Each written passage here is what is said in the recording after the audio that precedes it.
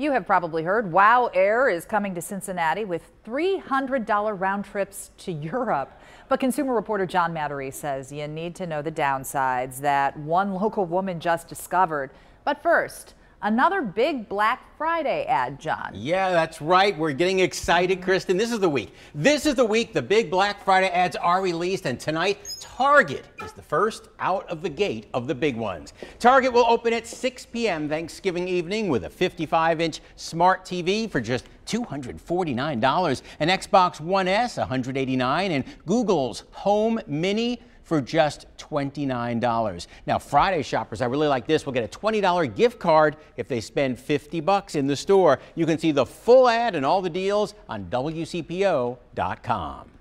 Tri-state drivers have been complaining all week about our rising gas prices. What's going on? But AAA says don't expect any relief at the pump soon. Pump prices, if you haven't noticed, have jumped to 265, even as high as 275 in a few places around the tri-state. AAA blames increased demand, political instability in Saudi Arabia, and refineries switching over to winter fuel. But it is Cheap Gas Monday, and Bob Apke says the UDF off the Fields Ertel Road exit is 245 in Kentucky. Kermit Balmer found 252 at Speedway in Florence, and our good friend in Indiana, Terry Hankenburns, reports the fuel mart in Aurora is 252. Wow Air is already wowing Cincinnati area travelers with super cheap fares to Europe. You know, it starts service from CVG early next year. But one Oakley woman says before you book a flight, know the downsides of deep discount flying. Discount airline Wow Air is advertising $300 round trips to Europe. Fantastic. Travelers we spoke with here at CVG said sign me up. If I could do it cheaper, I absolutely would do so. Because I have friends in Europe and they keep inviting me, so I'm more than happy to get there cheaply. So Julia Schamer and her boyfriend decided to try Wow Air.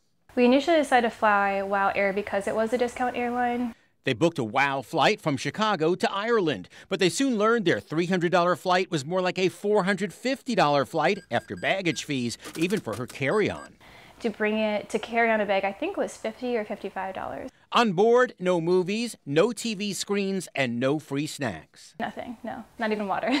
But that was nothing compared to what happened when it was time to change planes. Unlike Delta, WOW Air will not fly directly from Cincinnati across to Europe. All their flights connect in their home city, in Iceland.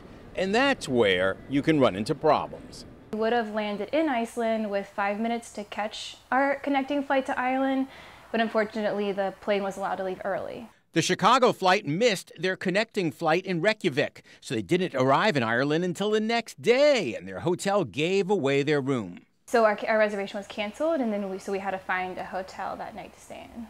A lost day, extra fees. At least Julia says they finally got to Ireland. Yeah, they got me there.